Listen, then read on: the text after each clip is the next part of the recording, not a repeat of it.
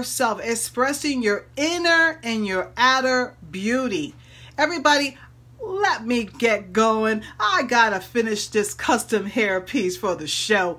Barbara Campbell Beauty Live. Till then, you count, you matter. Stay in Brooklyn, and I'll see you in the next minute on Brooklyn Beauty Television, BBTV. This is a sneak peek into Barbara Campbell Beauty Tips on Tuesday.